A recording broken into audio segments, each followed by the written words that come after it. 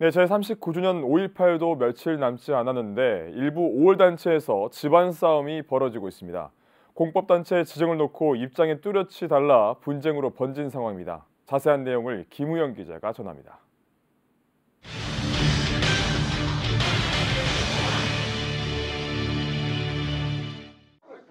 지난달 15일, 이번 달 7일에도 광주시 의회 시민소통실에서 고성과 몸싸움이 오갔습니다.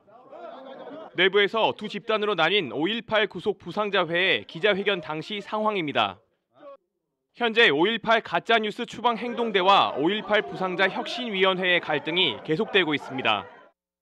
이유는 5.18 구속 부상자회의 운영 논란 때문입니다.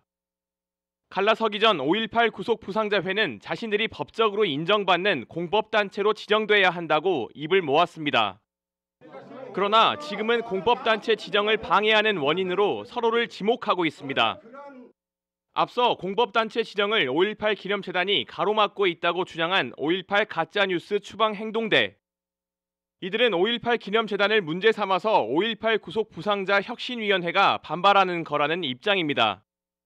법률 체계에 맞춰서 공법단체가 되면 더 이상 5.18을 폄훼하거나 애곡하거나 할 수가 없다. 법적 근거도 없는 5.18 기념 정치 개념을 5.18 기념 하고 있기 때문에 이런 문제가 계속 발생되고 있었단 말입니다.